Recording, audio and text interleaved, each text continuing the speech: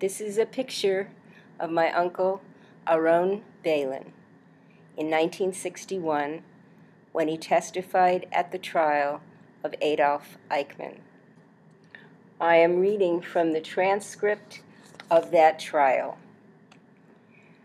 Did you and your mother and wife survive? No. You reached Auschwitz and underwent a selection? Yes. The doctor who conducted this selection was Dr. Rohde. What unit did he belong to? He was an SS doctor with the death head symbol on his cap. Perhaps it would be of interest to point out that while the selection was going on, he had a dog at his side, and he whistled the aria from Rigoletto, La Donna Mobile. About 150 men and 150 women were selected from the first rows. The remainder were sent off in a group without undergoing selection. Large trucks came to take them away, amongst them my mother as well. Where were they sent to? They were sent along the road, which, as I subsequently learned when I was at Auschwitz, led to Birkenau, which was the road leading to the crematorium. But I had a better sign. Three or four hours after I entered the camp, I saw these trucks through the barbed wire fence. We were then still on the other side of the barbed wire fence. We had not yet gone inside the camp. I saw these trucks returning with coats, and I saw my mother's coat. I then understood that she was no longer alive. There is one other matter I want to mention here. When I was with my mother, she said to me, she was an observant Jewess.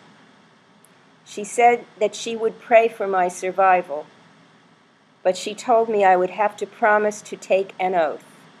That was how she put it to me. She said it in Russian so that the SS men should not understand, because there were some of them who understood a little Yiddish that if I should remain alive, I should go to Palestine. And I promised her, and I kept my promise.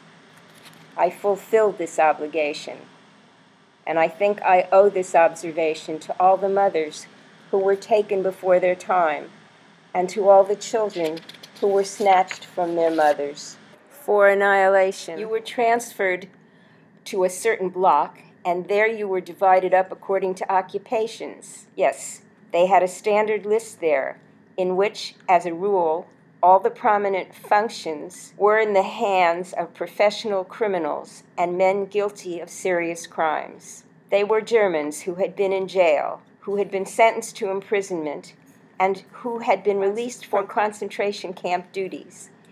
They had a prepared list and classified the new arrivals according to this list, into members of the liberal professions on the one hand, and criminal elements arriving there on the other hand. Those who were not members of the liberal professions and who were not criminals were divided equally into two groups. Those who were criminals and were able to prove that they had spent some time in prison, for example, had broken into safes or stolen, were given these duties. What were these duties?